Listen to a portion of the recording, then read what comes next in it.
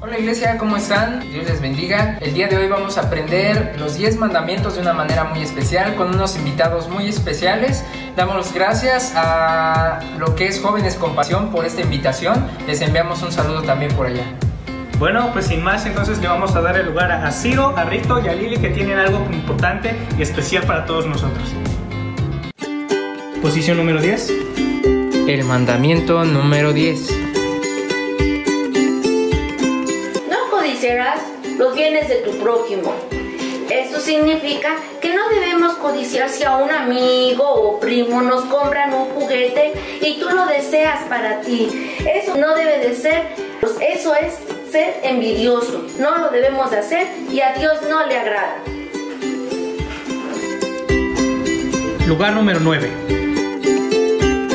El mandamiento número 9. Tu prójimo falsos testimonios. Esto significa que no debemos de ser mentirosos o chismosos contra las demás personas. Por ejemplo, si mi amigo rompe un vidrio de una casa y ahí vamos nosotros de chismosos diciendo quién fue. Esas cosas no le agradan a Dios. Lugar número 8. El mandamiento número 8. Significa que no debemos de tomar cosas de nuestros vecinos o nuestros amigos, sino quedárnoslos, porque eso no le agrada a Dios. En la posición número 7. El mandamiento número 7. No cometerás adulterio. ¿Qué significa este mandamiento? Significa que cuando tú y yo lleguemos a casarnos, no debemos fijarnos en otra pareja que no sea nuestro esposo o nuestra esposa para fallarle a escondidas. Esto no agrada a Dios. Tenemos que amar solamente hasta que la muerte nos separe a nuestro esposo o a nuestra esposa para agradar a Dios. Como sexto lugar, el mandamiento número 6. Este mandamiento, ¿qué significa? Significa que nosotros no debemos aborrecer a las personas. Tenemos que perdonarlas cuando nos ofenden. Porque dice la palabra de Dios que todo aquel que aborrece a las personas es homicida. Y no debemos matar a ninguna persona. Antes tenemos que perdonar todas sus ofensas y bendecir a esas personas y soltar el odio y el rencor de nuestro corazón y ser amigables con ellos, porque esto también agrada a Dios. Posición número 5. El mandamiento número 5. Honra a tu padre y a tu madre, para que tus días se alarguen en la tierra que Jehová tu Dios te da. ¿Qué significa esto? que aparte de ser obedientes y respetuosos con nuestros padres, tenemos que ver de por ellos todo el tiempo y sobre todo en su edad de ancianidad, porque nosotros tenemos que cuidar de su salud física, de su salud espiritual y también financieramente tenemos que honrarlos, porque esto agrada a Dios de tal manera que Él nos promete dar larga vida en esta tierra y esa larga vida va a ser agradable y hermosa.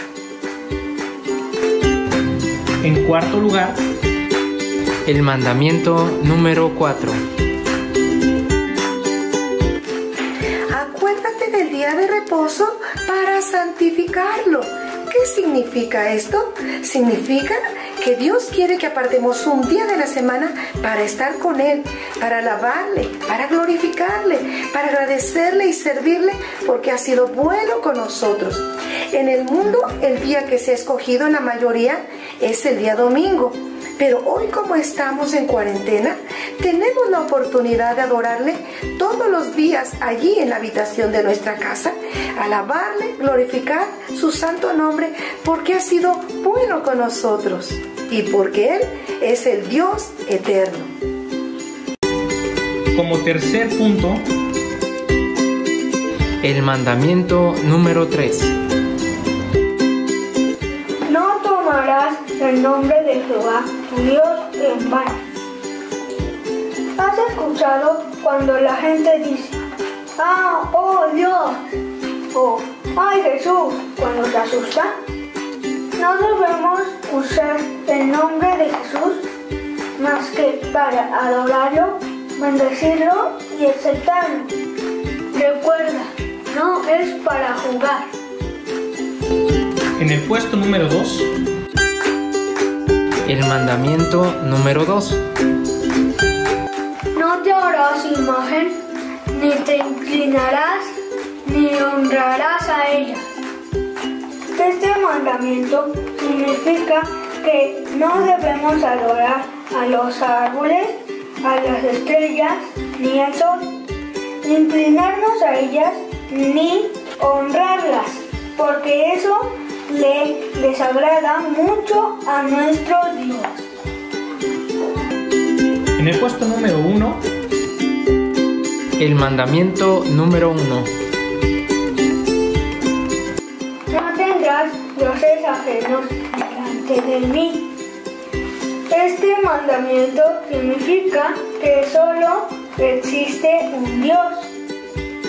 Su Hijo se llama Jesucristo y tenemos que adorarle siempre, siempre, solo a Él.